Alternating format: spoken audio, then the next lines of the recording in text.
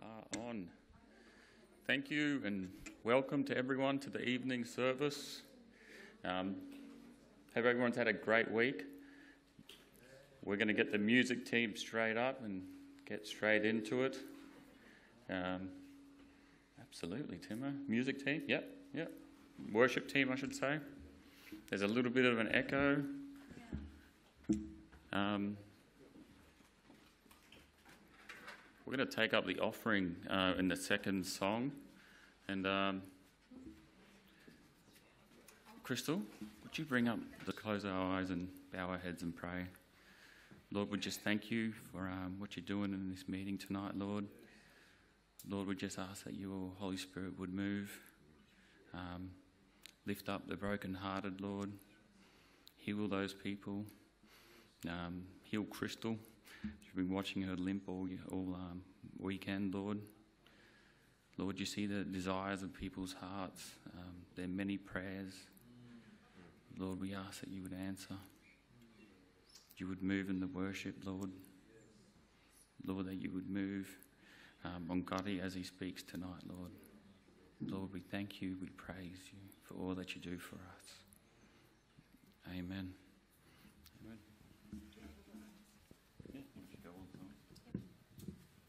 Offering in the second song.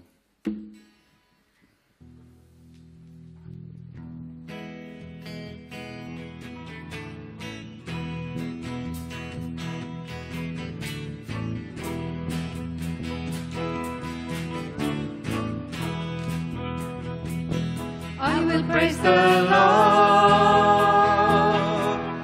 at all times, and His praise shall be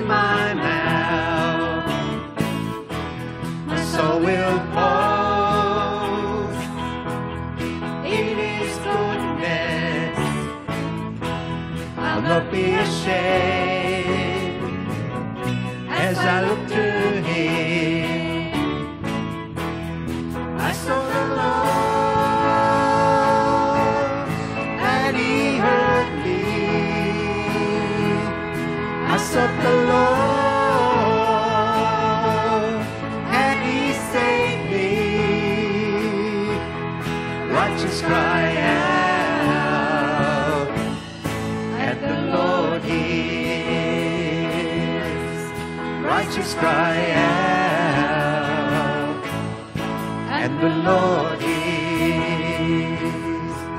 The righteous may and many troubles, but the Lord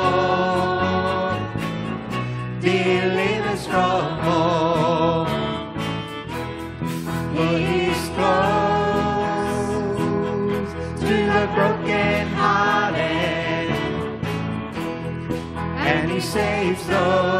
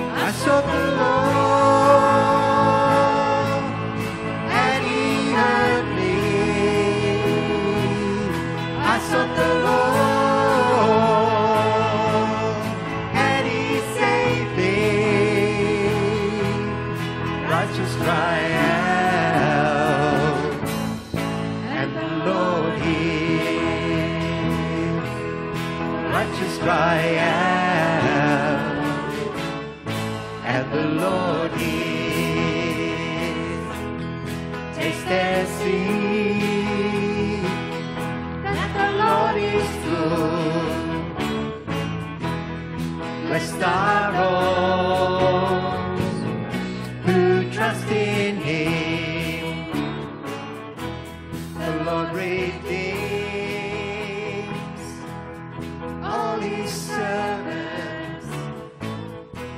Will not be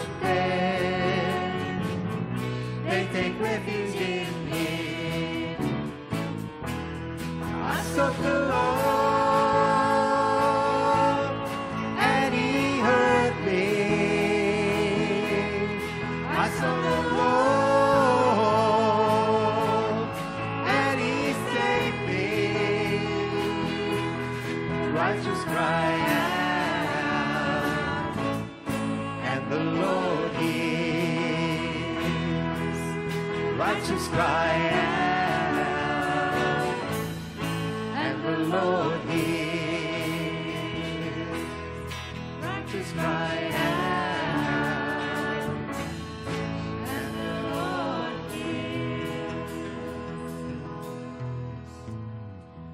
This sex- next song is What a Day That Will Be. And for some reason, the last couple of days in particular, I've been really just dwelling on the fact that Jesus is coming really soon. When I was five, I was waiting for him to come back, and I'm nearly 52, and it's a lot closer now than it was back then. So I think that's something that we can all rejoice in um, as times get even more and more bizarre. We know that our redemption is very soon and very close.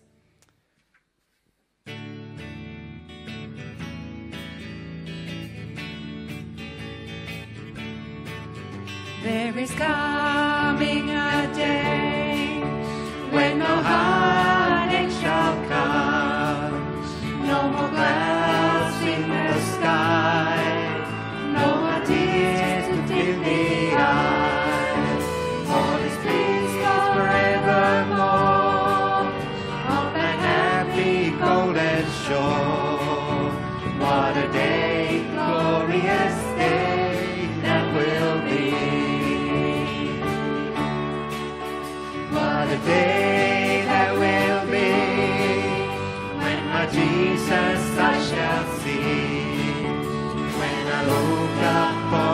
face, the one who saved me by his grace.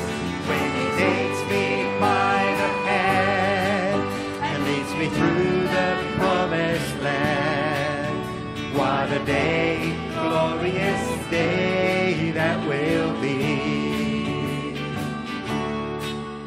There'll be no sorrows then, no more burden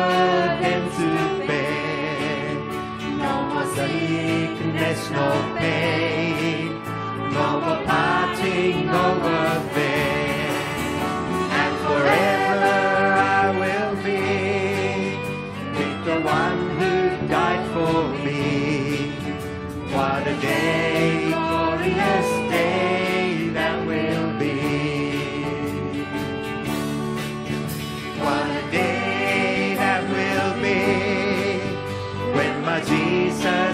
shall see. When I look upon his face, the one who saved me by his grace. When he takes me by the hand and leads me through the promised land.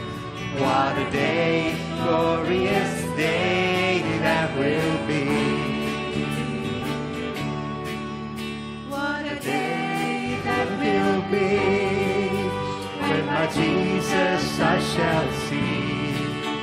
When I look up on his face, the one who saved me by his grace. When he takes me by the hand and leads me through the promised land. What a day, glorious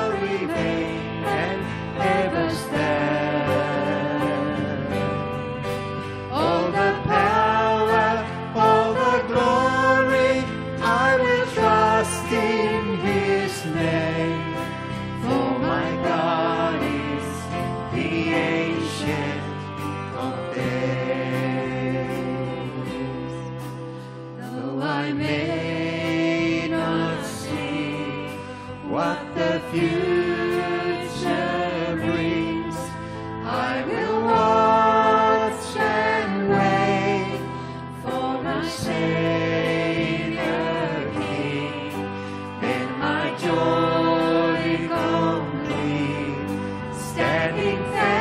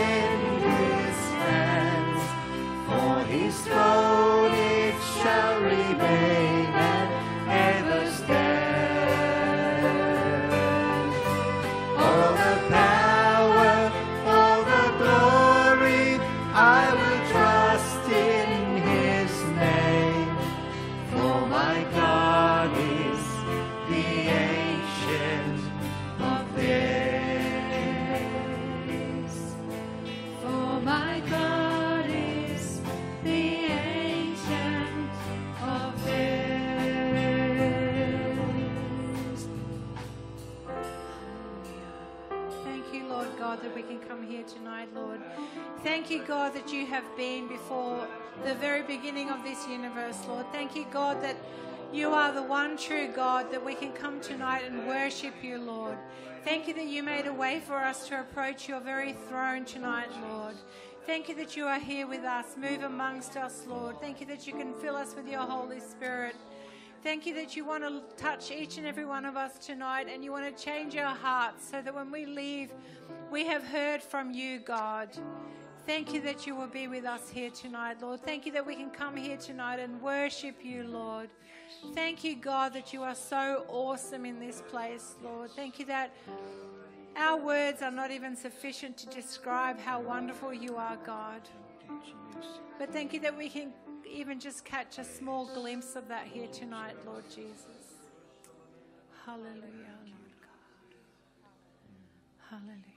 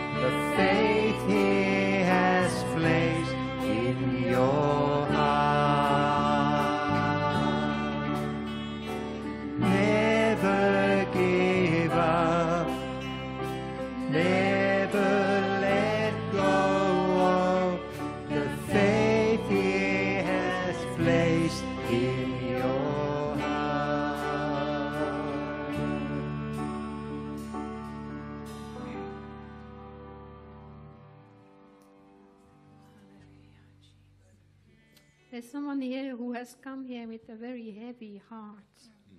And the Lord wants to lift up your spirit tonight. As you lift your eyes to Jesus, you can feel how His presence is lifting you up, helping you to see above and beyond all the troubles and all the trials that you are going through. And Jesus will be there with you.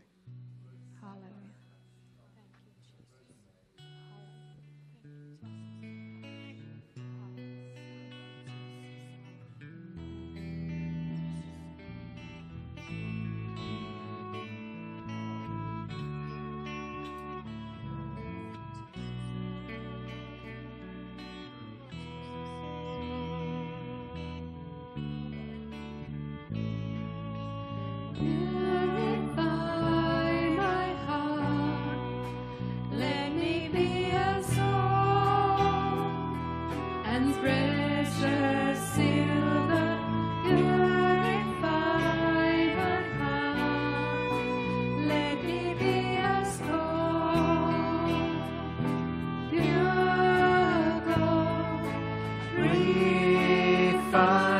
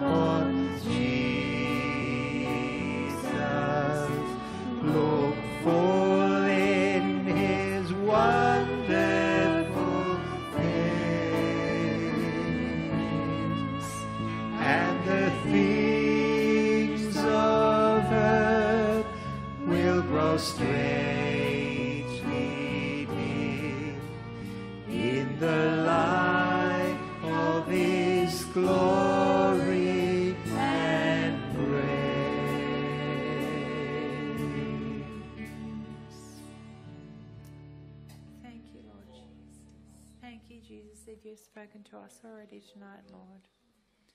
Thank you that you will continue to speak to us tonight through Kari as he shares the word and open our eyes and our hearts to see and hear what you have prepared for us, Lord. Thank you that you are here with us, Lord. Thank you that you never forsake us and you never leave us, Lord. Regardless of the darkness that surrounds us, regardless of the darkness that we may even feel in our own souls, Lord. But thank you that you reach out into that darkness, Lord, and you pull us out and you want us to turn our eyes to you, Jesus, and to just have our focus rest full on you, on your wonderful face, Lord, and on the wonderful things that you have done for us, and of the wonderful things that you have in store for us, Lord, in eternity. Thank you, God, that that's what you have saved us for, that eternity with you, Lord. And thank you that that day draws ever closer, Lord. Thank you, Jesus, that that promise is so sure for each and every one of us. Amen.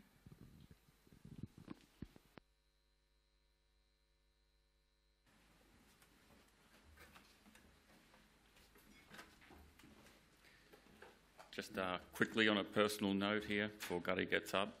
Um, I remember Yoni a couple of weeks ago said at the start of the year he starts a Bible, uh, read the Bible through app, and um, we found one.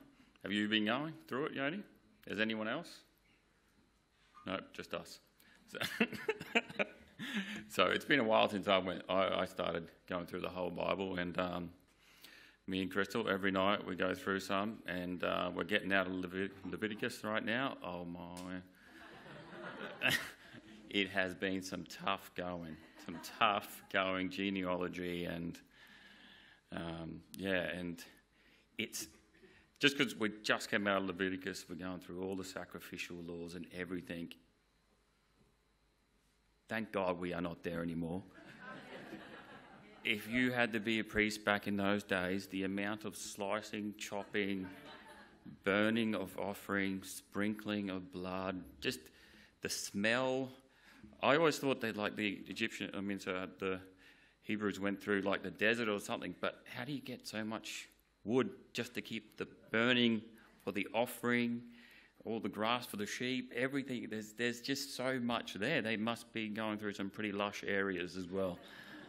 Um, but yeah, thank you, Jesus, that that is done away with. He's finished it, it is complete, and it has been fantastic. And um, where are we going? What book? Are we Numbers.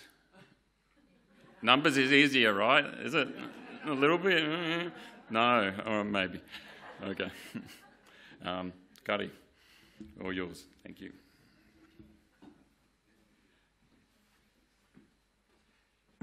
Thanks very much, Keo. Um, wait till we get to Deuteronomy. That gets a bit better.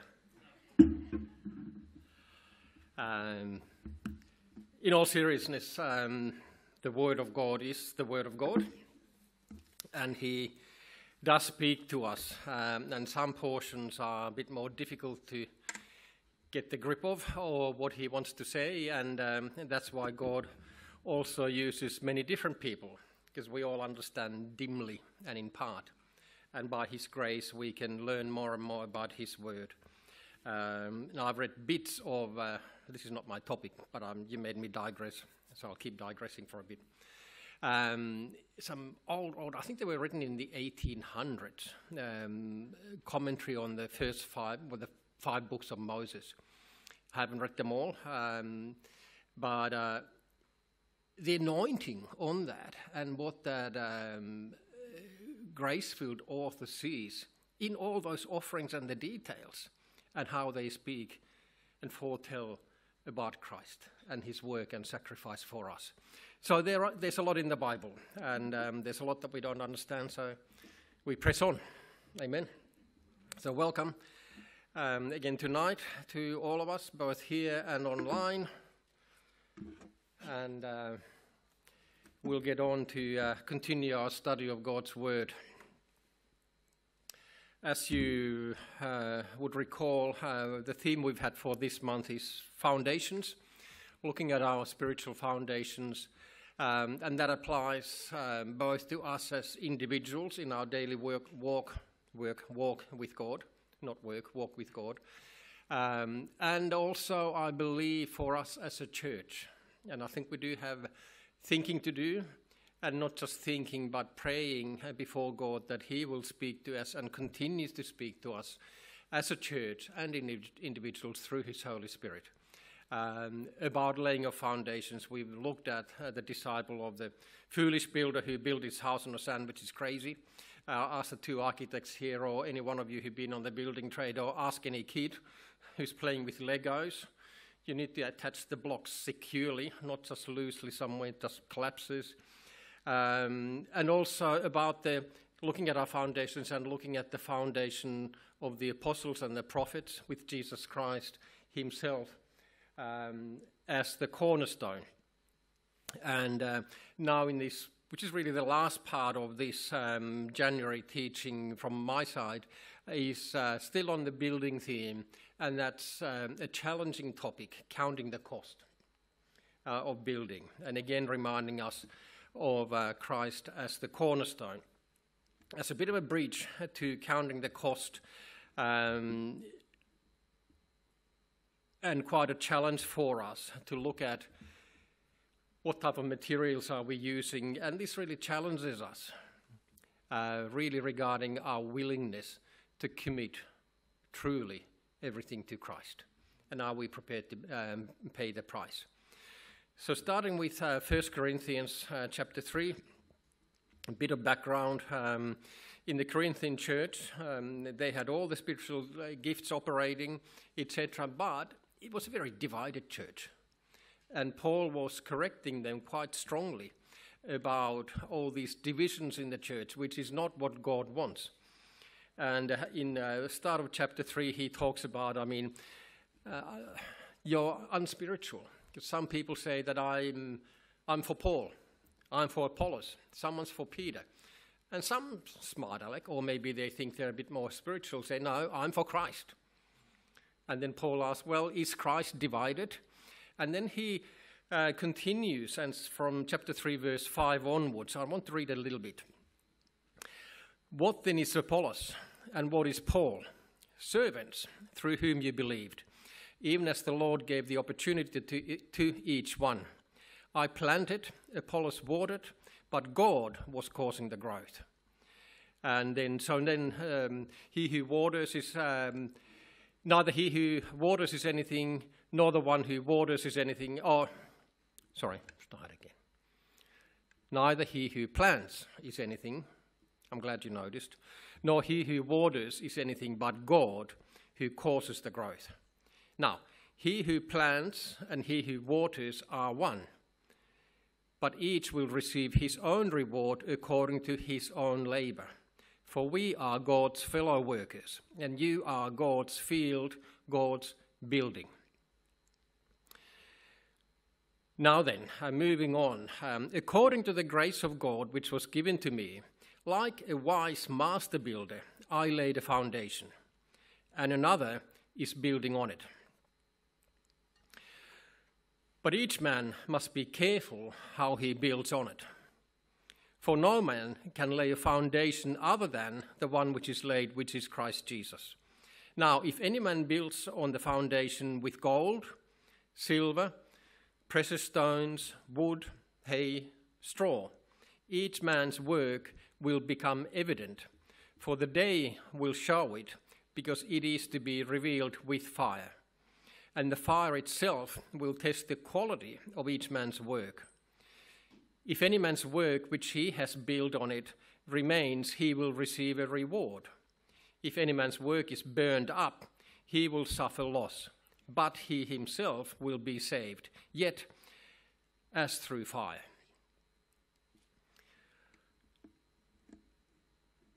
Everyone needs to be careful how we build on the foundation. Jesus Christ is the cornerstone. We have the foundation of the apostles and prophets, i.e., God's word, the Bible. That's our true, secure, solid foundation. And praise God for that. Um, and our beacon and light in the darkness uh, help us to um, grow in our faith and to live according to God's will in this world. But Paul cautions us and the Holy Spirit through this teaching um, of Paul uh, that we must be careful how we build. So I threw in those cartoony pictures. Ha ha. In fact, I think one of those pictures is from the three pigs who build a house. but I didn't mind that. And we might laugh, uh, but hang on a minute. What sort of materials am I building my spiritual house from? If the big bad wolf comes and huffs and puffs, what's going to happen?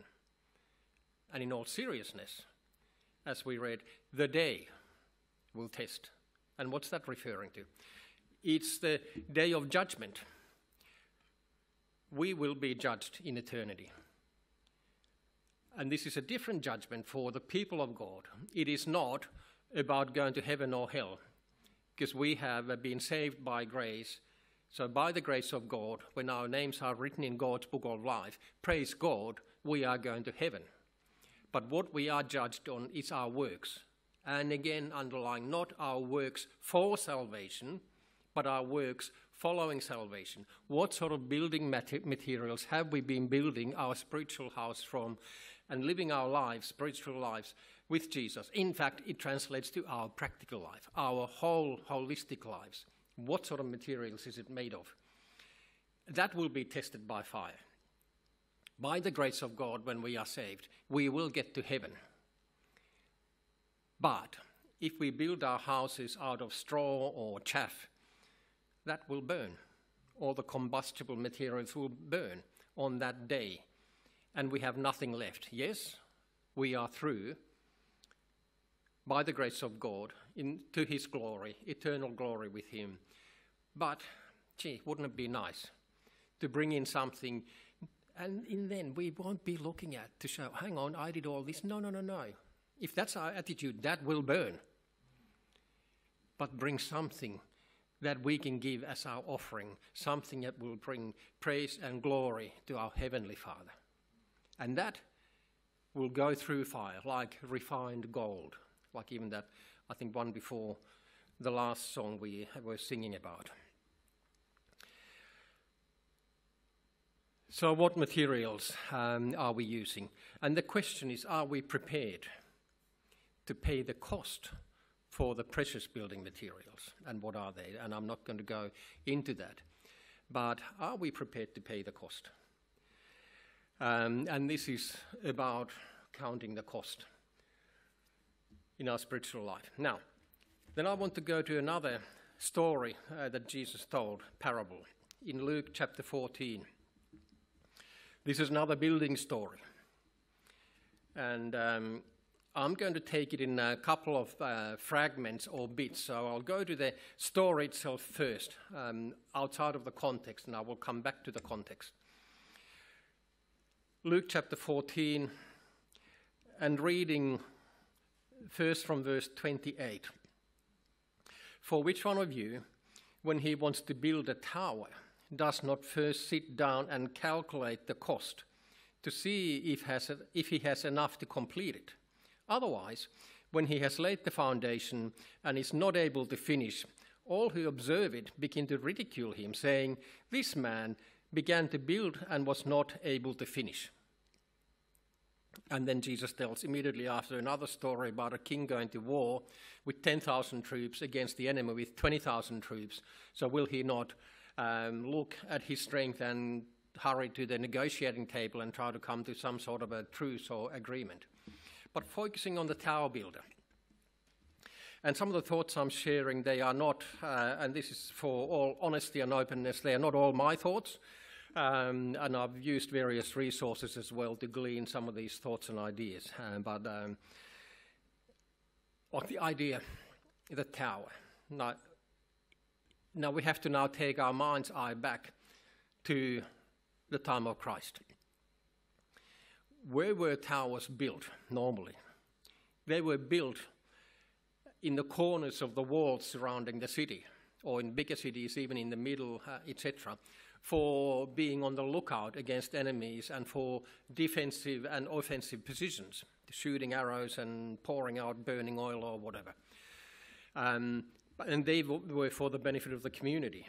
But this bloke that Jesus was talking about, he wasn't building a communal tower, he was building a tower for his own house. Now, the houses of the day um, in uh, the, the Middle East, they were usually the flat topped houses.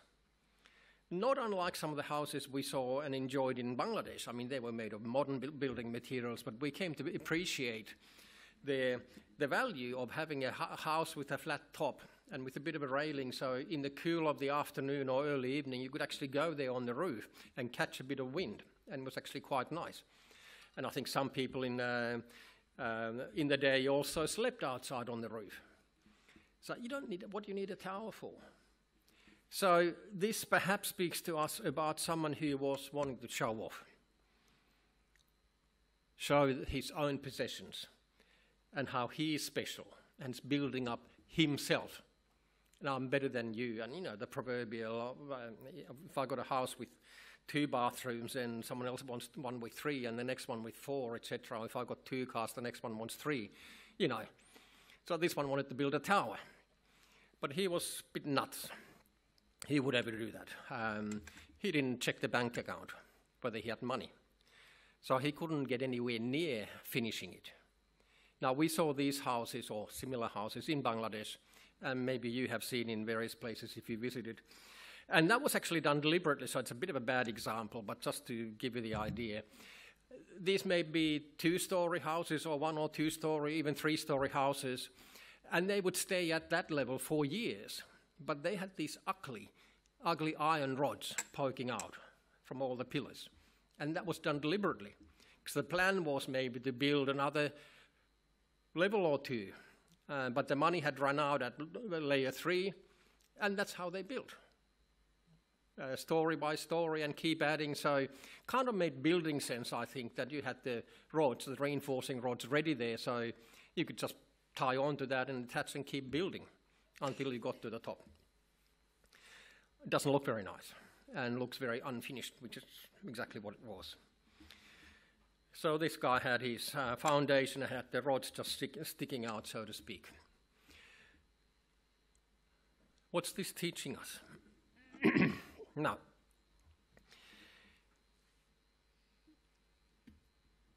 after these two stories, Jesus said immediately thereafter, So then, None of you can be my disciple who does not give up all his own possessions.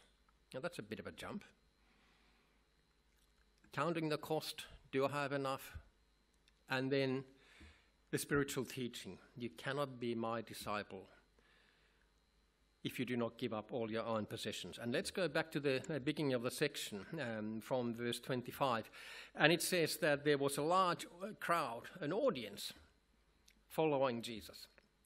Now, these weren't the 12 disciples or the nearest group or whatever. Uh, they were potentially people who might be thinking that, okay, we've heard a lot about this prophet and uh, maybe he's the Messiah, maybe he's not. They were considering following him. So rather than Jesus playing to their heartstrings and um, saying, yeah, yeah, yeah, come in, come in, I'll fix everything for you, he said, when he, large crowds were going along with him, he turned and said to them, If anyone comes to me and does not hate his own father and mother, and wife and children, and brothers and sisters, yes, even his own life, he cannot be my disciple. Whoever does not carry his own cross and come after me cannot be my disciple. And then to illustrate that, he started talking about the foolish tower builder. Now, that's harsh words. That's not how you win converts, is it?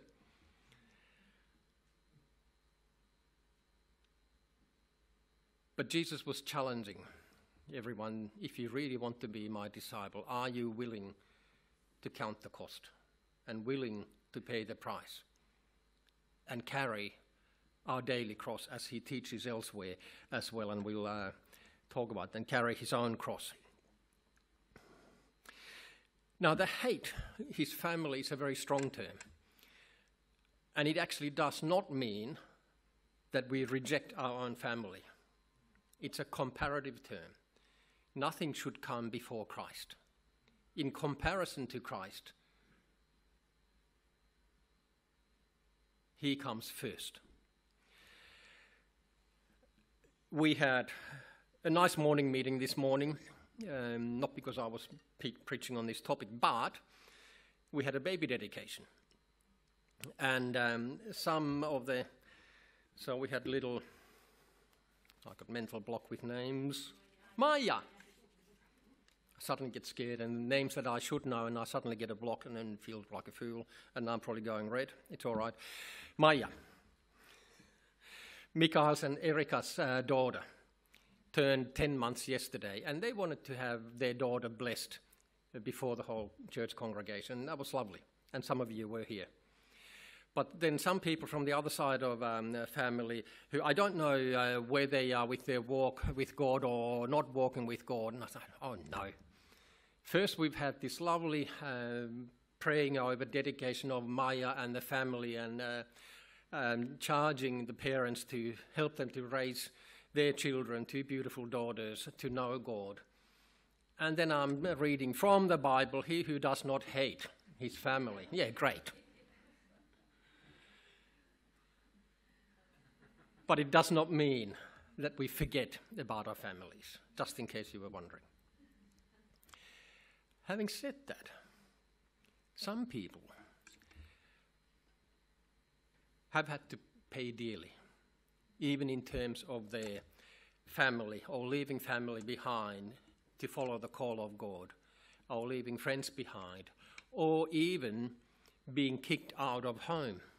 And worse still, and I don't want to over dramatize, but we know it and we must remember this. We need to remember in our prayers the people who are risking their lives today and every day as they're following Jesus.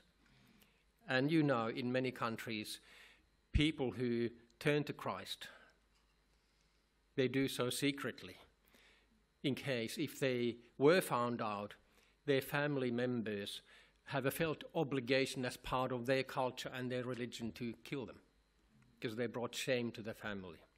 And that has happened time and time again. And today, people are losing their lives in the service of uh, Christ. They are carrying their cross, and Jesus has given them a heavy cross. He gives us all our daily cross, a different cross. My cross is not the same as yours, and vice versa.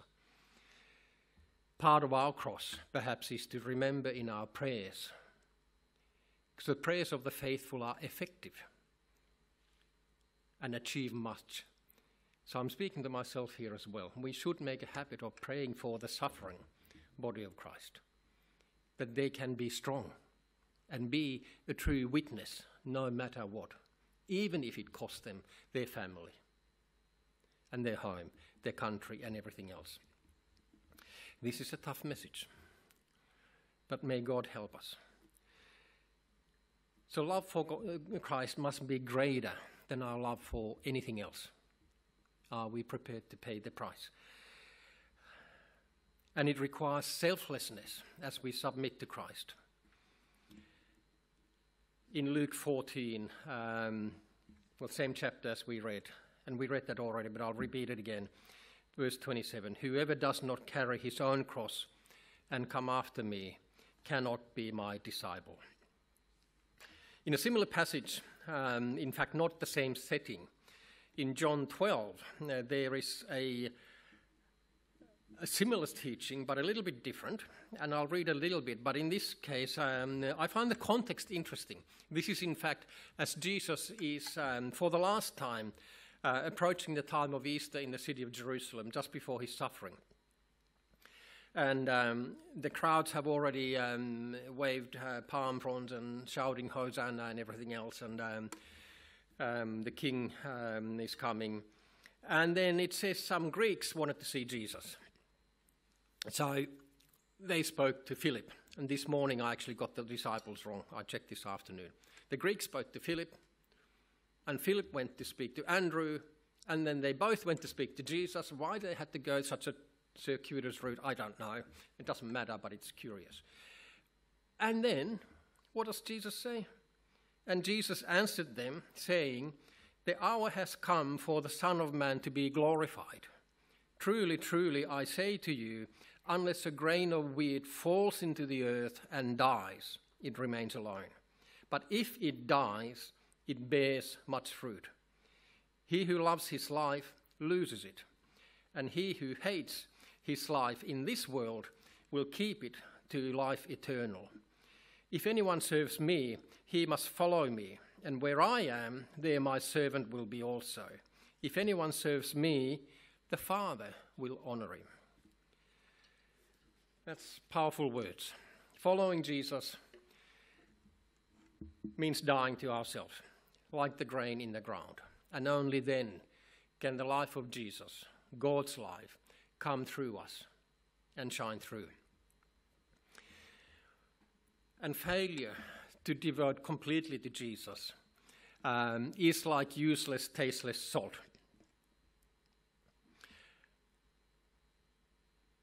The last bit in uh, Luke 14 um, about the tower.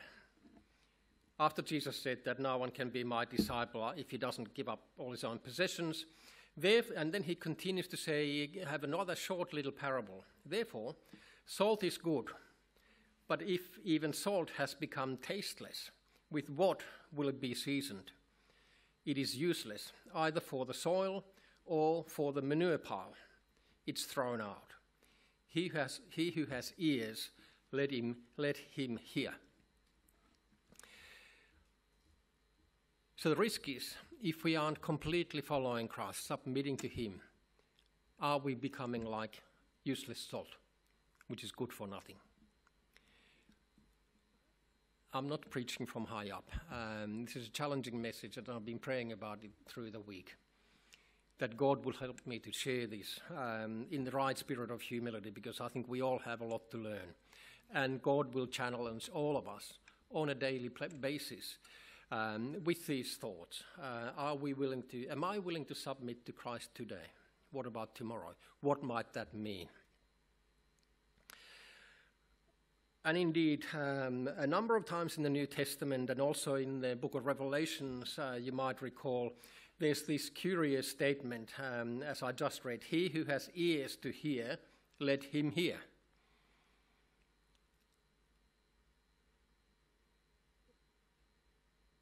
There are Old Testament prophets who talk about, and God spoke to them, that by hearing they don't hear, etc. Um, and, and like Jeremiah, I think, he was to prophesy to the people, and knowing full well from the beginning they're not going to hear you. But he had to declare God's word. Conversely, for us, if we have our spiritual ears open, the challenge is do we actually hear? Or are we like the Israelites in the time of Jeremiah or Isaiah, who were so hardened in their hearts that nothing went through, as if they had no ears or no spiritual eyes? And um, God help us, um, and He will, and He wants to. And he wants to take us forward um, with his strength. I mean, we cannot do any of this on our own.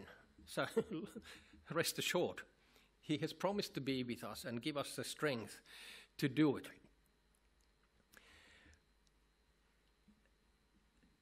We need to give up everything to fight the battle uh, with God, but relying only on the grace and power of God. So we don't need to try to squeeze something out of us. It is by God's grace and His power that He enables us to submit to Him and to count the cost and be ready to pay the price for my cross, what it looks like. Um, one of the authors I um, sort of looked um, suggests two success factors which I think are quite pertinent for counting the cost for following Jesus in our lives. Two success factors. Um, the first one is God's approval for our plan. So if my plans aren't God's plans, they're not going to work. Simple as that. And we may not always know, so we need to seek God's face to learn His will and His plans. And then they, it, it can succeed. And the second success factor going with it is that we need to be working together with others in love because we are all dependent on each other. So this is not a solo recital, it's a whole orchestra together. Um, Brother Yrjölä, he's a Finnish uh, preacher teacher. Um, he actually wrote a few years ago, published a book, big fat one, on the parables of Jesus, a systematic study. And on this parable of the foolish builder, he uh, listed down a whole lot of wrong choices that the tower builder made. And I'm not going to read them all, you may be able, be able to read some of it. Interestingly enough, now I'm do a little digression. Um, some of the oldies here um, remember, uh, many may not, that Brother Samuel Yrjölä actually was a pastor in this church. Well, we had the old building on Creek Road back then in the 1970s. Uh, he uh, came to Brisbane, to Bible College. The Commonwealth Bible College, which is now Alpha Crucis, was in Brisbane until it got flooded in the 19, whatever, 74 floods or whatever they were.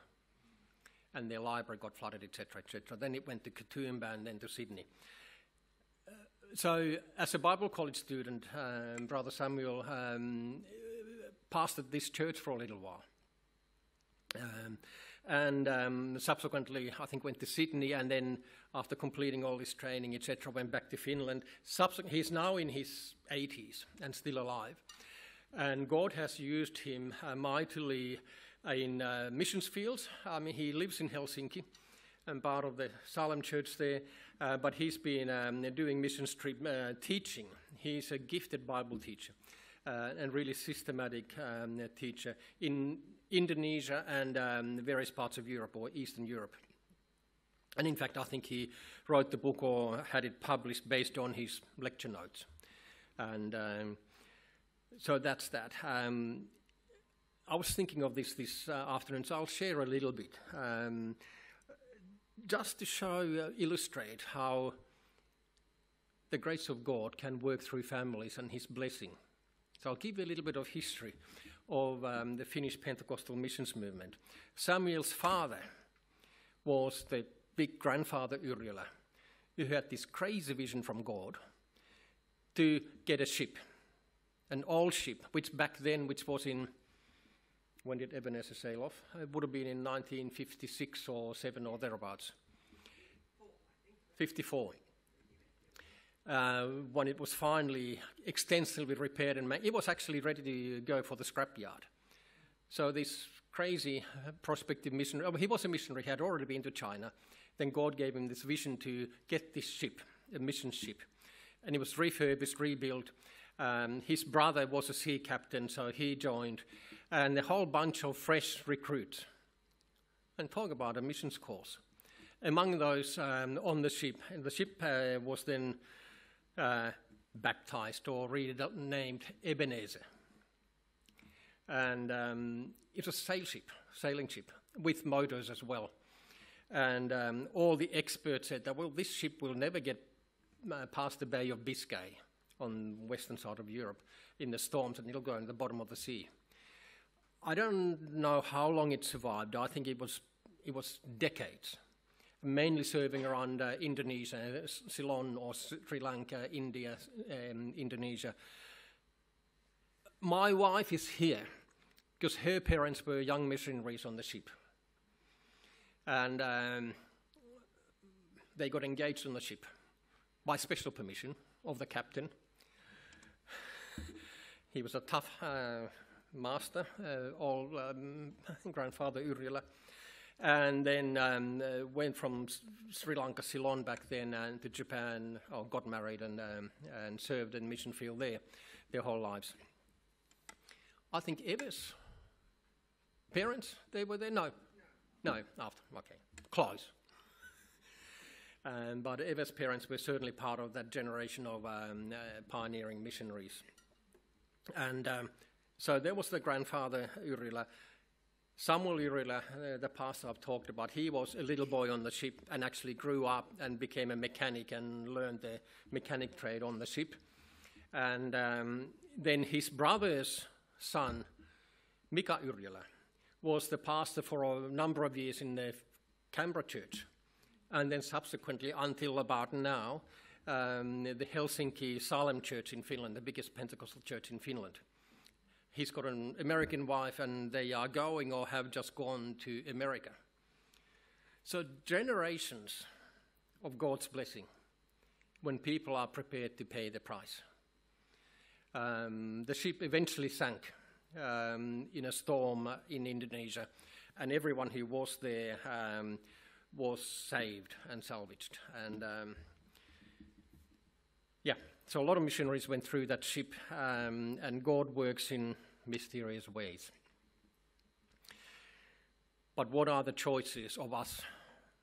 Are we building our own towers? Are we prepared to build God's kingdom? We may have the second last one, noble personality, but tolerate sin, and that's not acceptable um, in God's eyes.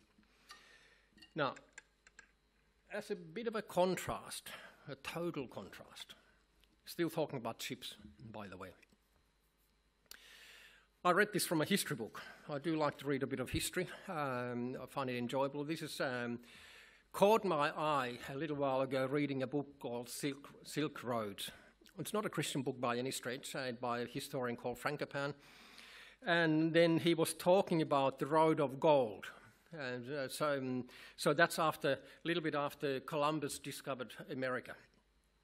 And the Road of Gold was established, and they were, had high hopes of extracting well, pilfering all this gold from America, and also slaves. So that's why we've got the slave chains there as well. So it was um, it was uh, rather ugly business.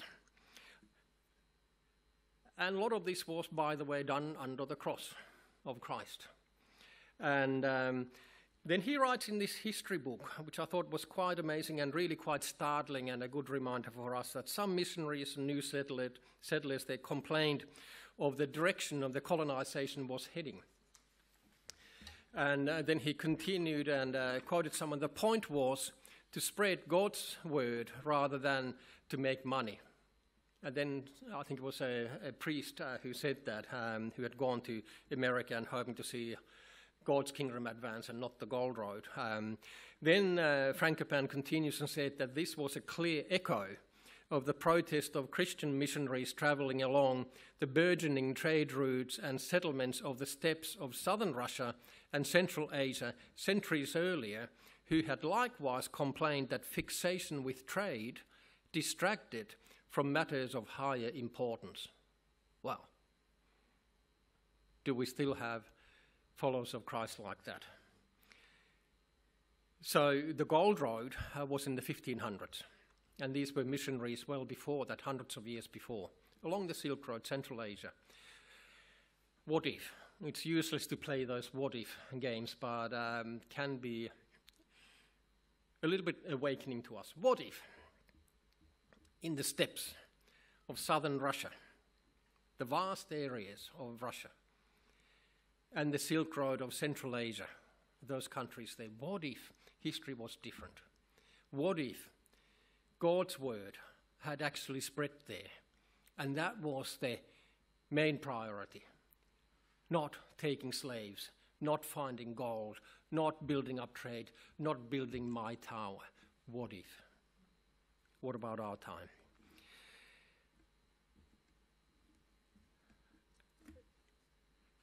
In Luke 19, Jesus again shared similar words and says, um, to everyone If anyone wishes to come after me, he must deny himself, take up his cross daily, and follow me. For whoever wishes to save his life will lose it, but whoever loses his life for my sake, he is the one who will save it. So, taking up our cross daily is to live each day uh, for Christ and not for ourselves. The cross um, we can understand um, this uh, illustration of when Jesus talks about taking our cross. It can be a literal cross, if not a cross cross, but we've talked about, I made reference to martyrs, paying our lives at the risk of our lives, following Jesus, shining his light. Or it can be less, perhaps severe, different, and that's what's been labeled disciplined self denial. So, are we prepared to live our daily lives as disciples of Christ, denying our own selves to follow Him? Lord, let your will be done. And that can take many forms, and I'm not trying to sort of look at all the applications. I'm going to challenge us to think about that in our own daily lives as we go forward. Um, but um, this is just some of the basis. Jesus is calling for recruits, not spectators. He's not calling us to watch the tennis game, as much fun as that might be, or whatever game it is. He's looking for someone to go and play or go to the spiritual war with him. He's looking for those people who are prepared to thread, throw their lot with him. I'm with you. I'm following you wherever it takes me. Um, Michael Wilcox, um, in, Wilcock, in his um, commentary on the book of Luke, writes um, uh, or compares uh, the total commitment in following Jesus, thinking of it in the terms of the narrow gate.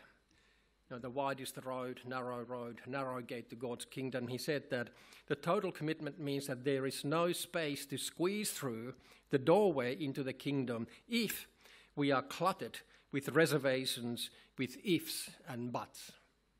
I'll follow you, but. And this happened in Jesus' day.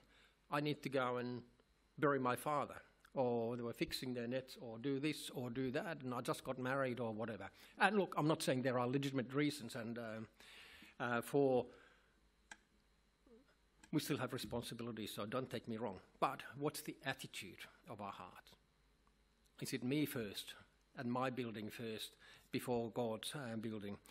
That's like a sack that we're trying to squeeze through the little gap in the wall ourselves, and we get stuck and can't get through.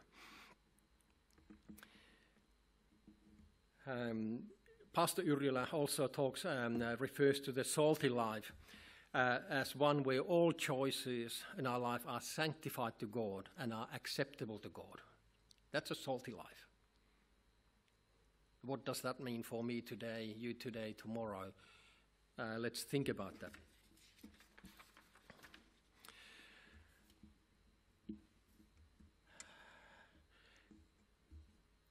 In uh, a similar passage in Matthew chapter 10, Jesus talks about he who has found his life will lose it, and he who has lost his life for my sake will find it.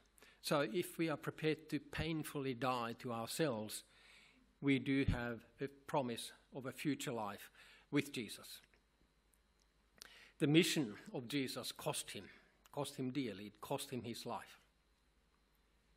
And he was willing to do that for us. He took his cross and died for our sins. Um, the cross carries with it rejection and shame, according to uh, Bonhoeffer, and I'll come back to Bonhoeffer in a tick, but it fits in this context. The shame we can understand. It was a shameful death, and people were mocking. Um, but it was also rejection. Okay, Jesus was rejected by the people. Only a few of his followers, and mainly the women, were there to look uh, from a distance. But the most awful loss that Jesus suffered on the cross was the loss of his father temporarily. When all the sin of the world was laid on him and darkness fell on the land to really demonstrate that or illustrate that, he cried with a loud voice, My Father, my Father, why have you forsaken me? God cannot stand sin. I may have shared this last week, but I'll share it again uh, because I think we need to remember this and let the Holy Spirit burn it into our hearts and our minds. God became sin for me. God, righteous God, cannot stand sin, cannot look at sin, cannot be anywhere near sin. He is a holy God. So he, God the Father, turned his back, as it were, to his only Son, because he was sin for our sakes. My God, why have you forsaken me? And then he gave up his spirit. When that happened, there was a mighty earthquake, etc., etc., and the people who saw, they stopped mocking. The Bible says that they walked away beating their chests. They knew that something significant had happened. Oh my God. Praise God. Jesus raised, was raised again on the third day. As the Bible says, death could not hold him. He was the Holy One of God. He carried our sins, the punishment for our sins, but he himself had no sin, so that we can be free.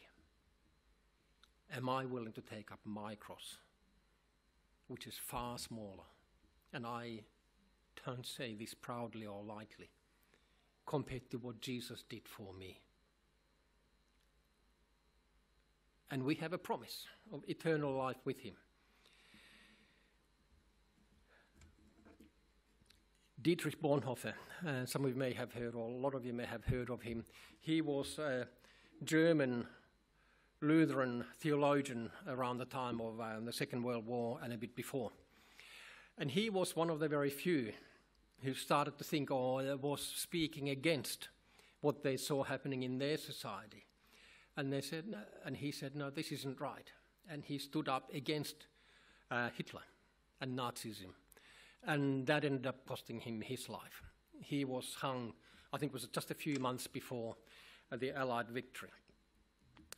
But he spoke a lot and he wrote a lot. Um, and I was able to get a hold of his book, Discipleship. I haven't read the whole book, but some bits of it, and it's really quite poignant and uh, quite powerful what he's saying. And when we know about the man and what he was prepared to do to follow Jesus no matter what, he says things like the cross means being rejected and includes the shame of suffering, which is exactly what I shared about. It's suffering with uh, uh, Christ, it's taking up our cross. Our own cross is ready, assigned by God and measured to fit. Think about that. We have our own road. Well, that's a very broad, pluralistic statement. But God has our own cross for us, our own cross to bear, living in self sacrifice in service of Him. And he made this interesting. Ooh, I'll come back to that. Skipped over that. Um, this interesting statement the guarantee of distinction between theatre and church is discipleship.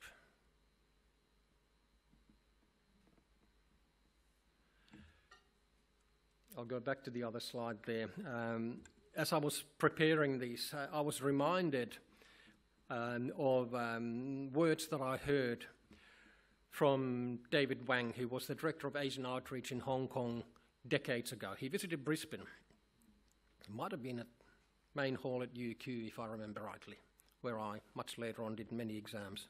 Irrelevant. Um, I can't remember what he was speaking, but he was um, certainly sharing about the challenge of reaching behind the bamboo curtain. And if I remember the story, or the, the gist of it roughly correctly, he was telling about a Chinese pastor that he met on a park bench. And talking with him, I think the pastor had been jailed for many years. And um, I think it was the pastor who said, um, I can't remember, either one of them. But in that context of suffering, losing many years of your life in prison for the testimony of Christ, the message, that's the gospel message of salvation, the message is free, but its delivery costs very, very much. And that really struck me, so that I still remember it. Many people are paying a very high price uh, for the delivery of the message.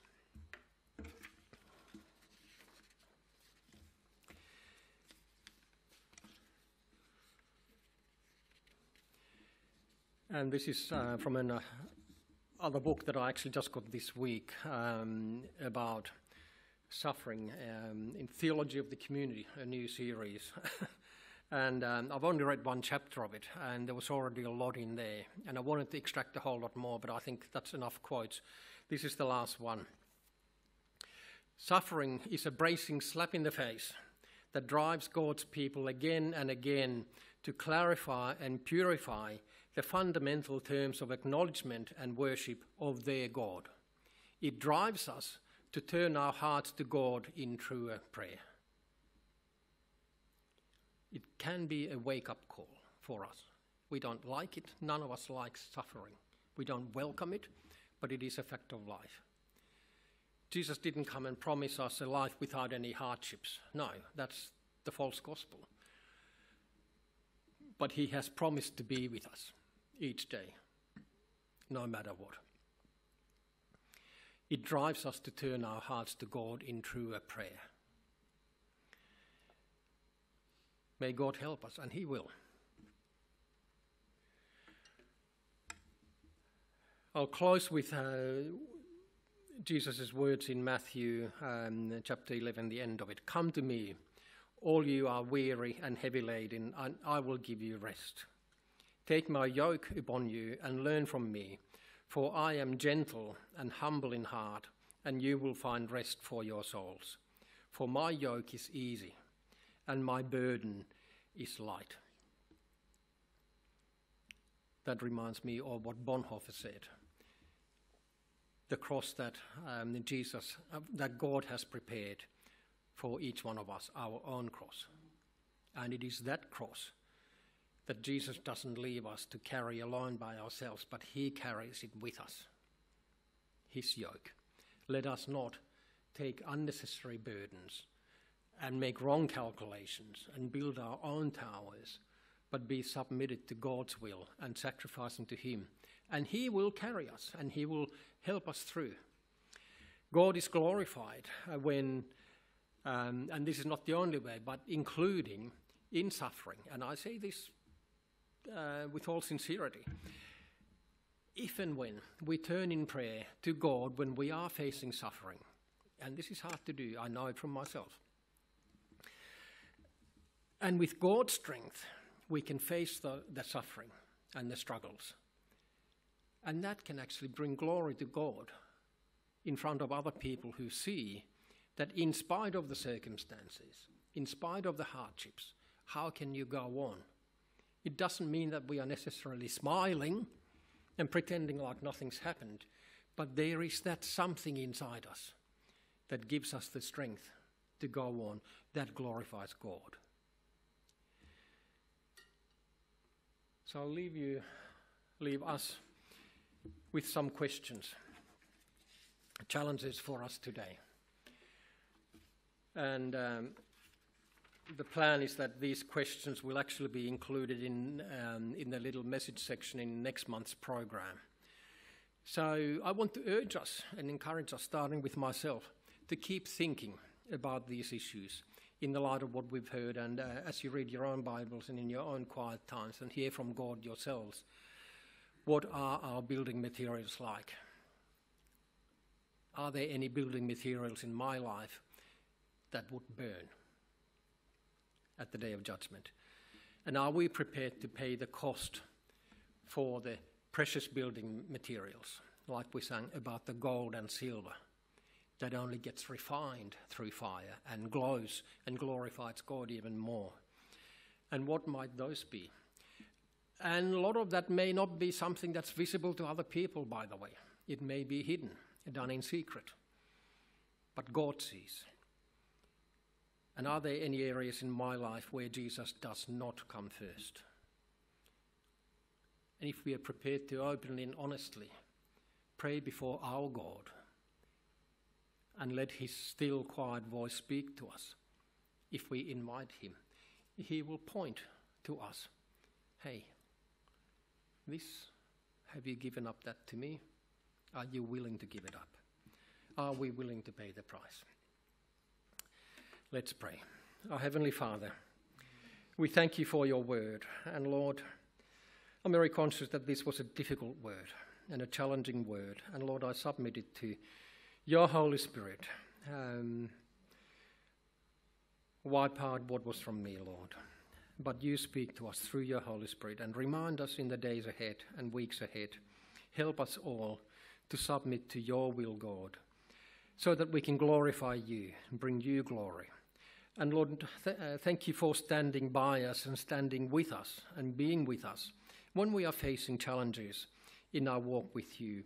Give us the strength like your saints of old or saints around the world and we see around us today who can stand with you, prepared to suffer the shame um, of the cross with you, Lord.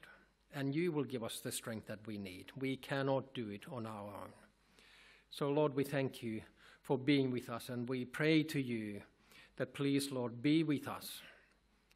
Give us the strength we need, and speak to us through your Holy Spirit, and give us spiritual ears that we are hearing, and we want to be willing to hear what you want to speak to us, Lord.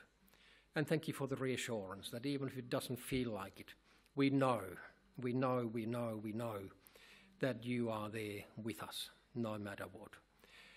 And we bring you praise and glory. In Jesus' name, amen. Amen. Okay.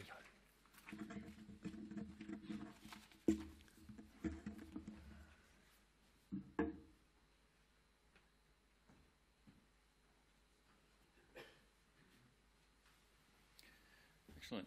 Thank you, Pastor Gutty. Um, and just before we say goodbye to our internet friends, um, we've got a praise report that um, the Buchanan family has um, made it safely to Papua New Guinea. This, uh, I think we prayed for that. And um, is there any other praise reports that we want to announce before we um, say goodbye to our internet friends? No? Better say hi to um, my mother-in-law. She had her 60th on the weekend. Huge, huge party, and you know we just had all family come to come together. And you know when it's all family, the praise report it went well. um, all right, um, to our internet friends, we want to say goodbye. Have a great week. Be blessed, and yeah. It says what? See you next week. That's it.